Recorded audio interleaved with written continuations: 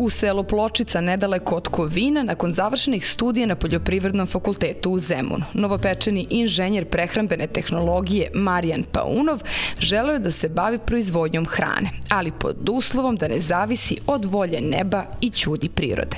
Nakon detaljnog istraživanja rešio je da sistemom eliminacije dođe do pravog izbora i već na prvi pogled jasno nam je da je uspeo u toj nameri.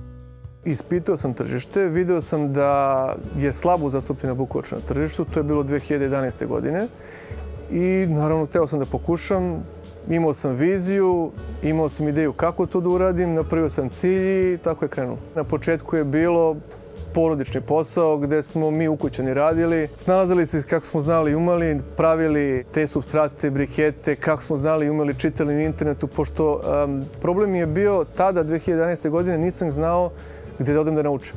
Znanje i tehnologija u proizvodnji nije bilo dostupne.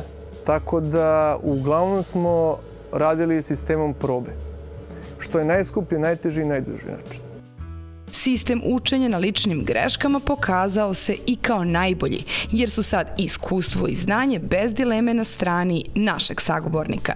Pa se tako više ništa ne prepušta slučaju u gazdinstvu Paunov, a posebno ne izbor briketa koji je preduslov za kvalitetnu proizvodnju. Nažalost, mora da kažem, u Srbiji ne postoji industrijska proizvodnja briketa za bukovaču, tako da moramo da ih uvozimo svi mi koji hoćemo da se bavimo na industrijski način ovim poslom. Ima mnogo proizvođača bukovače koje poznajem lično, koji dalje prave sami brikete. Tu je problem taj što ne postoji konstantnost u kvalitetu. Jednostavno, ozbiljno i zahtevno tržište zahteva konstantnu količinu kvalitetnog proizvoda, što može da isporuči samo industrijska proizvodnja.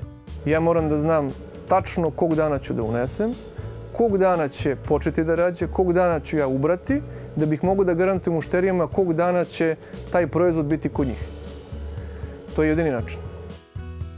U četiri objekta u kojima se mesečno ubere 5 tona bukovače, sve je strogo kontrolisano.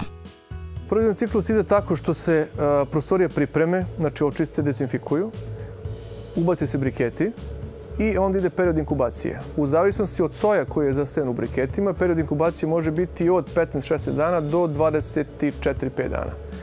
Nakon toga ide period plodonošenja, rađe prvi talas, on se bere Otprilike kada krene prvi talas, potrebno je 4 do 5 dana da se završi berba.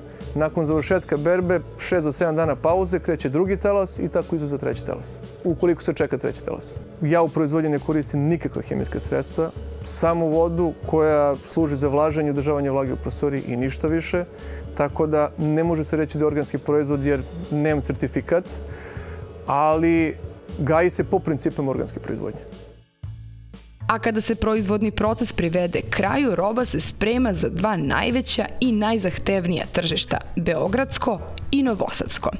Kada se ovo ubere, ide u gajbice, posle toga ide u rasladnu komoru gde spuštam temperaturu na plus 2 do plus 3 stepena i ide na tržište kao svež primarni poljoprivredni proizvod u rinfuzu u gajbicama ili se pakuje u tacne.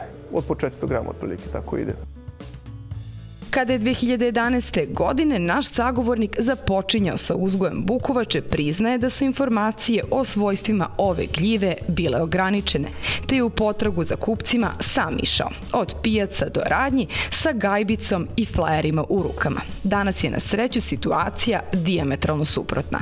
O bukovači se mnogo zna, telefon stalno zvoni i traži se koji kilogram više, pa se zato kuju još ambiciozniji planovi o proširenju proizvodnje u ovom južnobanatskom gazdinstvu. Stoga je i naš domaćin sve sigurniji da je pre 8 godina doneo ispravnu odluku.